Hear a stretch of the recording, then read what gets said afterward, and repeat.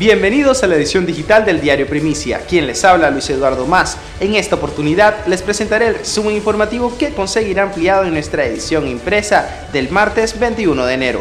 Comenzamos.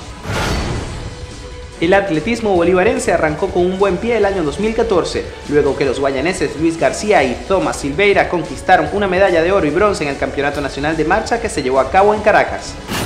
La Asociación de Deportes Acuáticos del Estado Bolívar se prepara para arrancar el año competitivo el 20 de febrero en Ciudad Bolívar, donde los tirones bolivarenses buscarán establecer las primeras marcas en el primer campeonato estadal y en el que buscarán un cupo en la selección regional de cara a los venideros nacionales.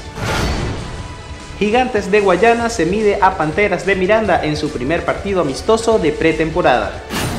Gravis Vázquez se mide a Vodcast de Charlotte en busca de llevar a Raptors a una nueva victoria en la NBA.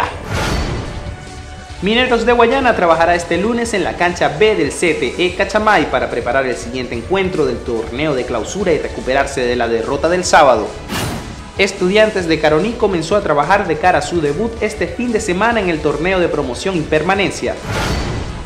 Caribes de Anzuategui recibe esta noche a Águilas del Zulia y Leones del Caracas. Se medirá con Tiburones de la Guaira con el objetivo de conseguir una victoria que los mantenga con opción de avanzar a la gran final de la Liga Venezolana de Béisbol Profesional. Caribes y Leones comparten el segundo lugar del round robin con marca de 8 a 6. Y ese fue nuestro resumen informativo. Recuerde que estas y otras noticias las conseguirá ampliadas en nuestra edición digital por www.primicia.com.be. Síganos por nuestras redes sociales por arroba diario primicia en Twitter y por Facebook por diario primicia. Quien les habló Luis Eduardo Más será hasta la próxima entrega.